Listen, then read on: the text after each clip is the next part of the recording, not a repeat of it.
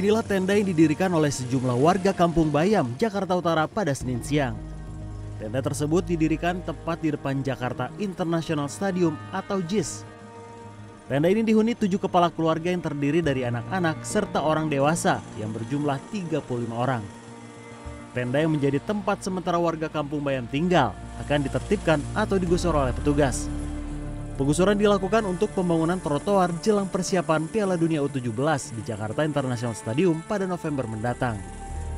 Pembongkaran tenda yang seharusnya dilakukan pada hari ini batal karena pihak kelurahan memberikan keringanan hingga hari Jumat mendatang. Sementara itu warga enggan pindah dari tenda bila belum ada solusi untuk mereka. Mereka ingin tinggal di kampung Susun Bayam yang sudah jadi. Semua yang terbaik kami mau dapatkan. Kami tidak mau membuat sesuatu yang membuat sehingga kata orang kami ini adalah orang yang kurang baik. Nah dengan cara dengan demikian kami mau ketemu dan kami mendapatkan solusi. Yang ya solusinya bahwa kami didirikan sampai hari Jumat. Lurah Papanggo saat ditemui di sela-sela rapat di Kecamatan Tanjung Priok mengatakan pihaknya melakukan pendekatan secara persuasif kepada warga Kampung Bayam.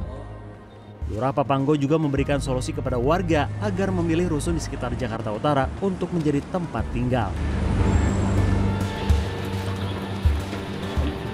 Wali Kota Surabaya Eri Cahyadi Senin pagi melakukan sidak ke Stadion Gelora Bung Tomo Surabaya untuk memeriksa kekurangan yang perlu dibenahi dalam persiapan venue pembukaan Piala Dunia U17.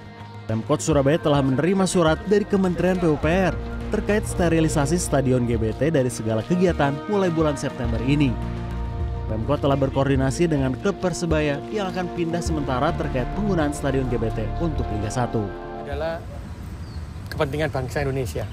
Jadi kalau sudah untuk kepentingan bangsa ini sudah di luar kewenangan pemerintah kota Surabaya, karena ini sudah dilakukan oleh kementerian, jangan sampai ada sedikit uh, apa ya sesuatu yang bisa menyebabkan Piala Dunia itu tidak merasa nyaman di Indonesia.